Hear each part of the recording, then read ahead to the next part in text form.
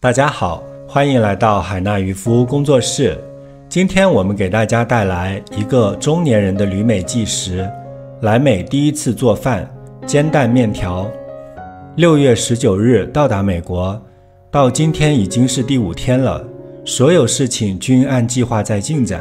今天来美亲自做了第一顿饭，煎蛋面条，我肚子饿了时比较爱吃的饮食之一。老家在四川乡下农村。环境艰苦，七岁上学就开始学着做饭，上初中开始独立生活，毕业后分配参加工作，独立生活多年。在家族中，我做菜也算比较不错的，特别是做麻辣鱼，更是我的拿手好菜。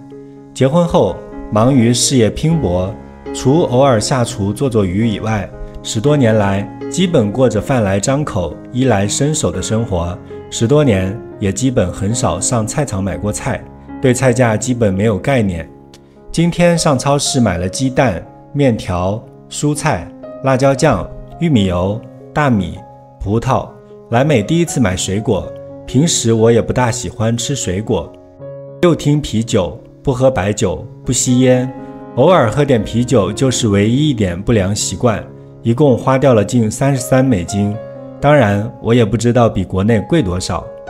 一个人独自来美国，我知道我必须学着改变，学着适应。我非常享受这种生活，它似乎又焕发了我的青春活力。当然，尽快将妻儿接来美国，一家人团聚是我最大的目标。第一次做饭，至少标志着我在美的生活将慢慢正常起来。如果您也需要房屋买卖、出租管理、美国合伙买房服务，可以在描述栏找到我们的联系方式，加入我们，让您的美国房产投资一路平安。